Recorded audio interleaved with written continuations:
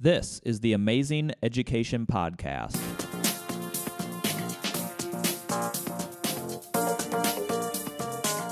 Powered by the Ames Community School District, I'm your host, Eric Smith. On today's episode, we are joined by elementary principal Jessica Sharp. We're going to have an amazing conversation about positive behavioral interventions and supports, including how it is implemented and how it can positively impact building culture.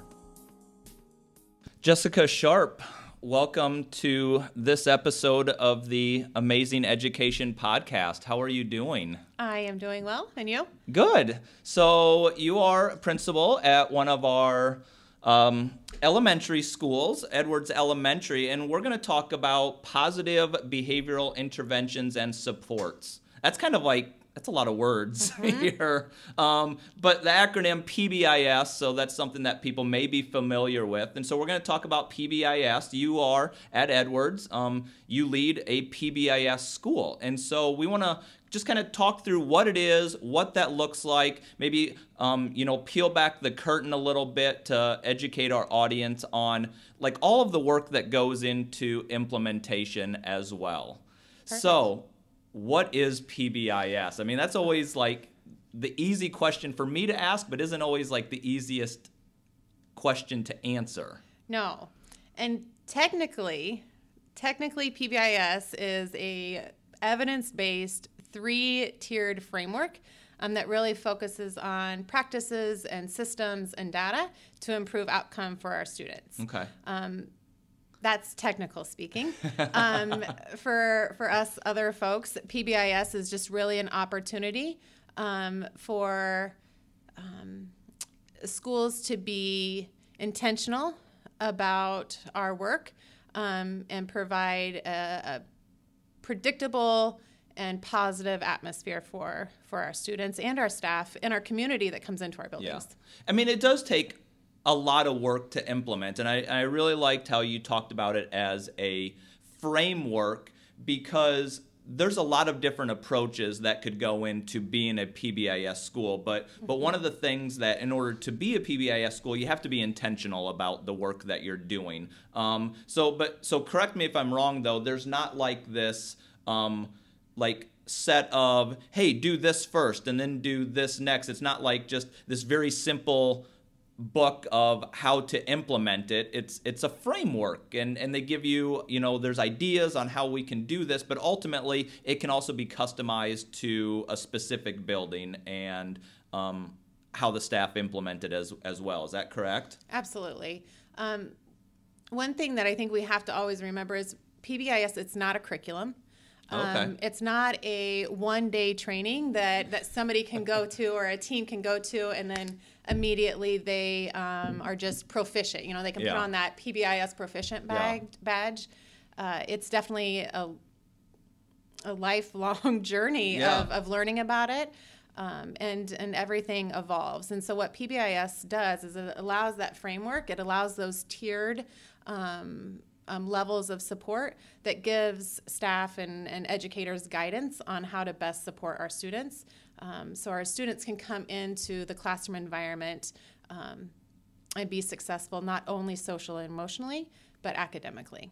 So this is, you know, literally my job is to celebrate the good work that we're doing. So I'm gonna I'm gonna give a shout out to your building and your team. A year ago, you were recognized by our Heartland AEA and the Iowa Department of Education for your implementation of PBIS. And I've actually heard other people say this. You know, there are um, buildings that you know that can say oh you know we're a pbis school. But there's a difference between like saying you're a pbis school and like actually doing pbis work. And and you and your team at edwards you're actually doing the work. So this is what year three? Yep. Okay. Mm-hmm. so talk to me about what implementation sort of looks like. Um, not only maybe in year one um, year one i'd imagine it's a really heavy lift and then, but then as we go into this year, as you said, it's ongoing. So, what does implementation continue to look like in your building? Like, what types of conversations are you having um, with your staff leading up to the school year? So, that initial um, training around PBIS when we've decided this is, you know, we've done the research and PBIS is something that, that our building needs or our district needs. We're going to engage in some pretty heavy, heavy training and reflection on our current practices um, and looking at that, at, at our data, to determine what is working and what's not working. Um, and, and and and we did that. Edwards did that. Ames did that as a district year one, mm-hmm. um, and so then we implemented um, what we had learned into the building, and we started with just that initial. Um, consistent language and vocabulary so we looked at our expectations and we identified what does it look like to be safe thoughtful and responsible um, within the four walls of edwards elementary mm-hmm. Um, and as we we worked through that we were able to identify um, those expectations, and then that teaching piece is a, is large also. Um, but the ongoing training is is really reflecting on what what we're doing and how is it working. So we're looking at data consistently, um, especially now in year three. We've we we've built the platform, right? So we're mm-hmm. we're not looking so much at at the implementation piece at the tier one level. We're looking at here's our practices, here's our data, um, and what are we doing right and what do we need to still tweak yeah uh, and we're, we're also getting more detailed into the specifics of the framework. And so we're looking at our classroom management. We're looking at strategies that we're utilizing. And is it is it benefiting all of our students or just some of our students? And okay. if it's just benefiting some of our students then we've got a little bit more work to do. So as a as a guest who would walk into your building i just want to point out and then you can um, continue on with it, one of the things that I know that you did is, and because you said it, is you've identified what does it look like to be safe, thoughtful, and responsible. And so one of the ways in which you can communicate that is through signage throughout your building. Yeah. So to be those things in a classroom means this and I would imagine that your classroom teachers are, you know, continuing to reference, you know, the posters or, or the language within those posters and, and reinforcing those in the classroom. But it also applies to the hallway, it, it applies to the playground, it applies to the cafeteria, and those can look different. Like what it looks like to be safe, thoughtful, and responsible in the classroom can be different than what that looks like in the cafeteria because yes. those are two different time periods and settings and the expectations can be slightly different for students. Yep. And we have even arrival and dismissal. Oh, okay, yeah. Um, so part of that that learning that we we took on as adults um, is that we needed to adjust our traditional practices of teaching. Mm-hmm. Um, and so just like with um, academics, um, and, and reading or math, for example, we teach specific strategies to our students to improve their their reading, to improve their math yeah. skills. Um, and so we're intentional about that with behavior also. Um, so those the the consistent language that you see throughout the building, you're also hearing that, mm-hmm. and you're also um, seeing feedback um, from adults with an acknowledgement system. Yeah. Um, so you'll see the signs, you'll you'll hear the wording, um, but you'll also see specific feedback provided to our students. Um, we Edwards chose to do that in a form of a ticket system, um, but it always accompanies that specific feedback. So okay. when we say kids being see kids being safe or thoughtful at arrival or at dismissal or in the classroom at the lunch, um, we're providing them with that that ticket and then that specific acknowledgement. I just I really like um, the idea of setting up a structure and and both students and staff understand you know like what is the expectation here. Um, it's really a disservice to our students to you know constantly you know like discipline them when there's been no teaching around like what is the expectation mm-hmm. here what is the expectation in the hallway in the cafeteria arrival dismissal in the classroom. And so talk to me like if, if I'm if you're a teacher, if I'm a teacher, what does that ticket system look like like in the classroom, for example, mm-hmm. or in the hallway or in your building, I guess generally mm-hmm. speaking? Mm-hmm. So we have a different layers and that is part of the framework that you learn throughout PBIS. Um, is we have different layers of that acknowledgement system. So we have individual um, acknowledgments, mm-hmm. we have classroom level acknowledgments, and then we have building level acknowledgments. Yeah. So if um, you are a staff member, and we're using the language teacher here, mm-hmm. but PBIS really is oh, like all hands on deck. Yeah. Um, so all staff members have um, a understanding of our PBIS system, yeah. and they're part of the team. I love it. Um, and so everybody is looking um, for for students that are being safe, thoughtful, and responsible. Um, and they're also reteaching. They're finding moments that we can reteach. Um, but if we go back to that, to talk about that ticket system, um, you may see a, a kid. Um, well, here's an, ex- an, example. We've got yeah. kindergartners, and they've got we've got wonderful technology in our buildings, right? Yep. yep. Um, but our, our kindergartners are, are just so itty bitty, and and so one of their expectations in technology, because we also are safe, thoughtful, and responsible with technology. Yeah um, is to carry when they're transitioning in the hallway is to carry their Chromebooks with two hands. Okay. Um, yeah. And so they're holding on to that Chromebook. And so if I'm in the hallway and I see that, then I'm able to provide that student with the specific feedback. Thank you for being responsible with your technology. I see that you're holding it with two yeah. hands, um, and then provide that student with a ticket. So that would be an example of the individual level. At the classroom level, um, if I see, and using that same example, if I see an entire class using two hands holding their Chromebook, then I can acknowledge that entire class with a classroom ticket. Yeah. Um, and then we've got a whole system built in with that yeah. um, on, on the classroom tickets. Um, and then as a, as a building, we have um, a system to, to celebrate when as a building we've met our goal. Yeah. Um, and those are our those are fun times.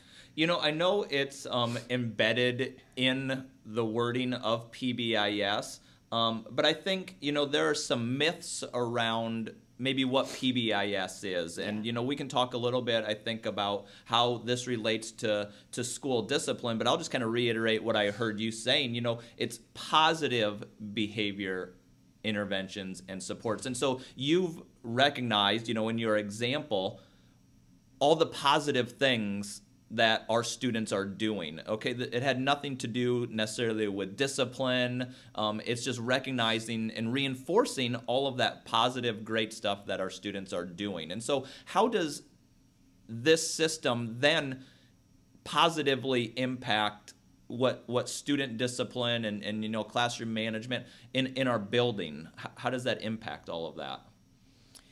Um, I kind of, I personally see it as as a domino effect. Um, so when we have students coming into our building and they know what's expected of them, um, and we reinforce that expectation and we reteach those expectations, um, our, our school discipline numbers lower. Yeah. Um, and our teachers' classroom management skills increase. Yeah. Um, so overall, um, that allows for for just an overall more positive environment. It doesn't mean that we don't have to discipline. It doesn't mean that there aren't consequences. Yep.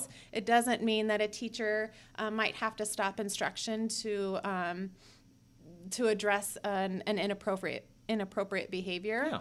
Um, but at the end of the day, we are focused on the positive. Yeah. We are focused on celebrating the great things that that happen in in our building every day. Yeah. So, um, as one of the sort of reteaching for our staff or just to re-bring back up conversations around what PBIS looks like. You know, we did put a one sheet together and we specifically talked about um, the myths around PBIS and we kind of debunked one right there in that it doesn't it, it, doesn't mean that i mean the school year's long you yes. know we have hundreds of elementary students in mm-hmm. in in your building so there's going to be a time where you know there's going to be some consequences to some behaviors i mean that's that's inevitable we have a big school you know yeah. that's the way it is and so this doesn't mean that that's not going to happen and i just really appreciate um, you identifying that. You know, the other myth that I think people have is, you know, it's just, well, it's just, and this is simplifying it, but, but it's just, you know, it's just handing out rewards. And, but it's much more than that. It's, it's really like a, a building and system wide approach to um, just reinforcing and creating a predictable environment for our students and and acknowledging the good stuff that students are doing. I mean, I think oftentimes you know, it is very easy to focus on, you know, maybe there's one student who is, you know, acting out a certain way, but we do have, you know, a bunch of other students who are really making concerted efforts to be, as you said, safe, thoughtful, and responsible. Mm-hmm. I hear a lot, um, not a lot, I, not a lot, but I hear sometimes um, that PBIS is just bribing students. Yeah. Um, and I believe that that a bribe is when you have an inappropriate behavior and you're um, you're you are giving something in return for the student to stop that behavior. Sure. Um, to me, that that's a bribe. Yep. Um, so you're on the backside of the behavior already when you're bribing. A reward is is on that front side of the behavior, and it's when you're acknowledging students for meeting those expectations. Yeah. Um, and I think as adults, we sometimes forget that that we're rewarded yeah. also. Yeah. Um, every day that we come to work and we do what we need to do, we get a paycheck yeah. at the end of the month. right. Right. Right. Yeah. Um, and there's also um, various just awards that people get yep. for being successful at what they do. Yeah. Um, so rewards yeah.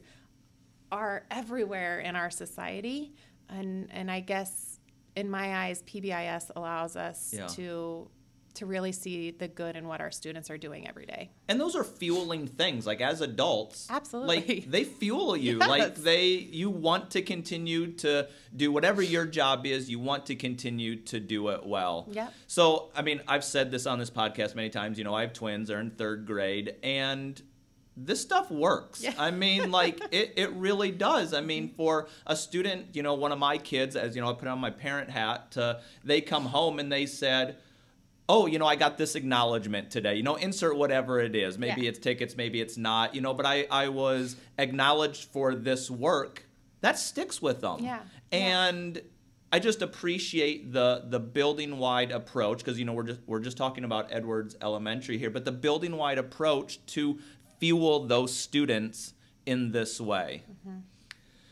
And it is a building wide approach. And I know I, Yeah. I, I touched base on this earlier, but there's not one leader or one staff that can implement PBIS, no matter Yeah. how much they believe in it or no matter, you know, how much of a love they have for that. Yeah. It's everybody has to be on deck Yeah. and everybody has to be using the language and reteaching and acknowledging um, for PBIS to change the outcomes of our students. So how often does PBIS come up in um, professional development, you know, all staff conversations, not even training so much? Because yes, for you know this episode we're talking about PBIS, but as you know the building leader, you're also you know thinking about reading curriculum. You have special education things that you have to consider as far as training. And and the list can go on and on. I mean, you could just add to that list. I mean, I just really touched on the, the first couple that came to mind. So this isn't the only thing that is going on in your buildings, but how often does this come up? So, Edwards is in a unique, um, or I guess we we have an opportunity. I don't know if it's so unique. It's maybe more new, unique for Ames, um, but we've been able to um, start implementing tier two practices. So as I talked about at the beginning of our conversation, PBIS is three tiered. So you have tier one, um, which is for all of our students. Um, so the the teaching, the acknowledgement, um, all of our, our babies receive that. And then at tier two um, is where we really start to target um, more of specifics for students. And so we're looking um, at some check in and check outs for students. We're looking at SAGE groups for students. Um, and we monitor that and provide more feedback um, through um, progress reports. Yeah. And then our tier three is very intensive, and we're Yeah. we're really digging in there. Um, but because of the opportunity that that Edwards has in implementing that tier two um, piece this year, our conversations are a lot more. Um, isolated around around PBIS um, because the tier two is new. Yeah. Uh, but after you get that working, the conversation's really embedded into into everything. So instead of just talking about special education or instead of just talking about curricular stuff or social emotional, the the framework of PBIS really allows that conversation to be embedded um, into everything that we do. So we're not running um, programs or initiatives or um, systems parallel to each other. Yeah. Um, rather, it's all our oars are going the same direction. Yeah. Well, I really appreciate that breakdown. Um, you know, and I alluded to all of the, you know, list of other things that are going on in the building, but this approach really does mirror other models. I mean, reading instruction is done this same way. You, you know, you have tier one reading instruction, yep. and that's going to hit a lot of students um, and give them yeah eight, yep. okay, and it's going to give them what they need, mm-hmm. and and it's going to continue their learning is going to continue, but that doesn't hit all students. No. no. Um, and so that's where that tier two and tier three um, come into place, not only in reading, but obviously here in, in PBIS yep. as as well. Talk to me about um, data conversations that, that you have at the building related to PBIS. Mm-hmm. So um, we have a specific team um, around for PBIS that's looking at, at da- data um, on a weekly basis, whether that is at the tier one level or at the tier two level. Um, so we're specifically looking at um, ODR, which is our office disciplinary referrals. Mm-hmm. Um, and so we're looking at uh, the percentage of referrals that we have on a weekly basis. Mm-hmm. and then we really put together an action plan based on that. And we're breaking we're breaking that data down to looking at time location um, day of the week. And then we can even break it down further to look at what students are receiving a referral. We yeah. can look at demographics. We can look at um, ses uh, so that then allows us to be intentional about our action plan yeah. and make sure that we're targeting um, the right area um, to provide that reteaching. Uh, and another really interesting piece I, I find about looking at that data is is sometimes it's not um, changing student behavior. Yeah. Sometimes we have to look in the mirror and change adult behavior.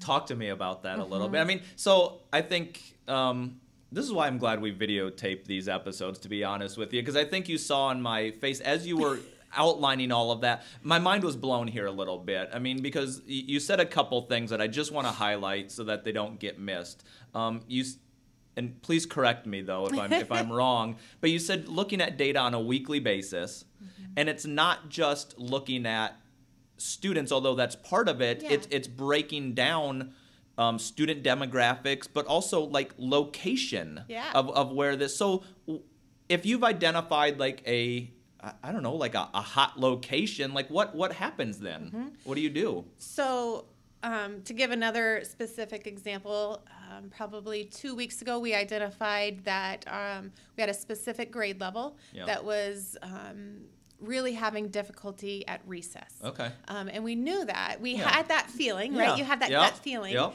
Um, but when we look at the data, it backed that up. And so we were able to even identify the specific recess based on the time that the referrals are entered, or okay. the time, not the time referrals are entered, but the time of the incidents yeah. that are happening. Um, so our, our PBIS team then put together, based on that information, put together an action plan. And we were able to partner with the high school um, and bring in some of our uh, our high school students yeah. to come in and reteach recess behavior to our second grade students.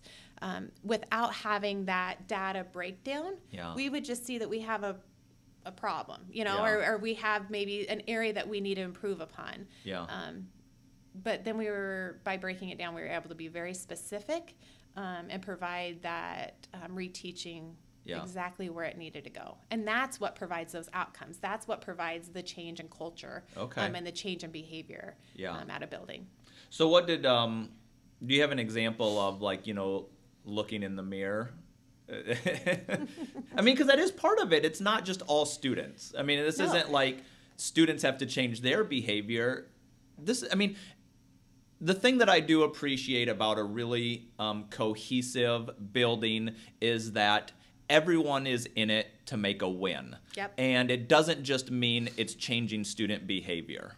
Sometimes it is, yeah. I mean, mm-hmm. but and that's not um, I'm a right, you're wrong no. situation in any way because everyone wants students to learn. Everyone wants to have an engaging learning environment and and adults want a climate and culture that they can come to yes. that they enjoy. Yes. Yeah. yeah. Mm-hmm. Um, are those tough conversations sometimes though? Yeah. I, I mean, mean, they can. I yeah. mean, nobody, nobody, including children, um, like to um, be reminded of what they can do better. Yep. Right. Yep. Um, and I think traditionally,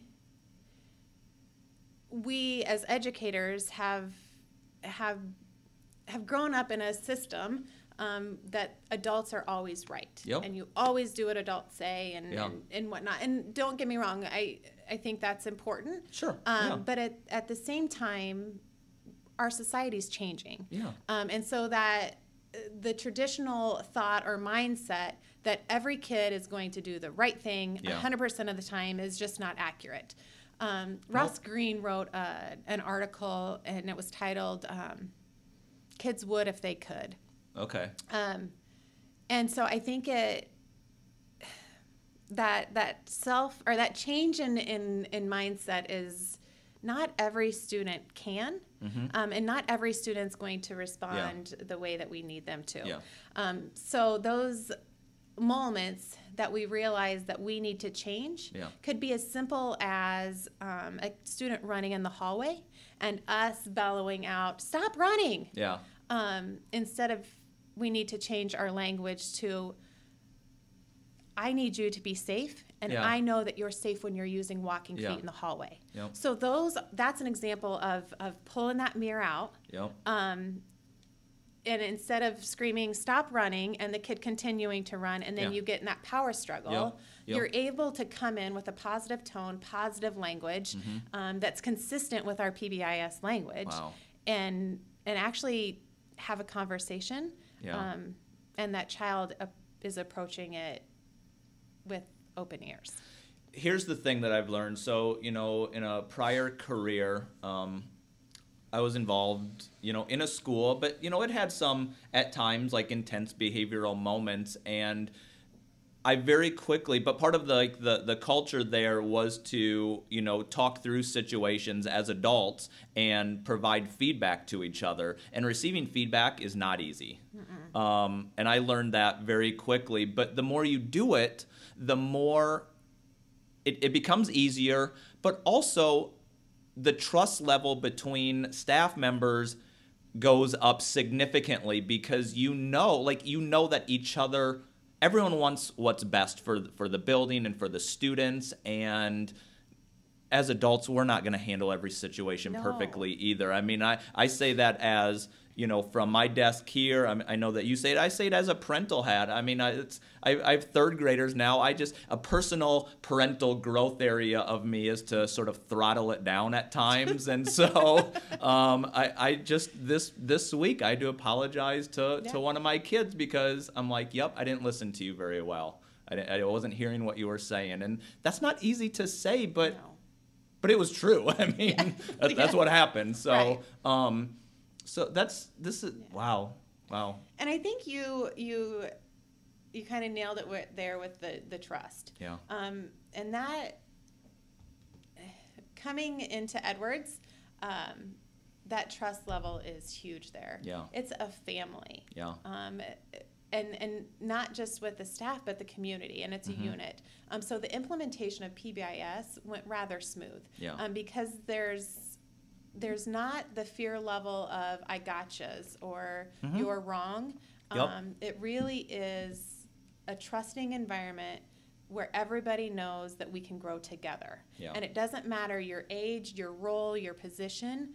Um, we're we're gonna have to support each other and and and be kind and empathetic in our communication Um, but we have to hold each other accountable. Yep. If we want an environment where we are running out of our cars to get to our classroom and where kids are, are begging to not go on summer break. Yeah. yeah.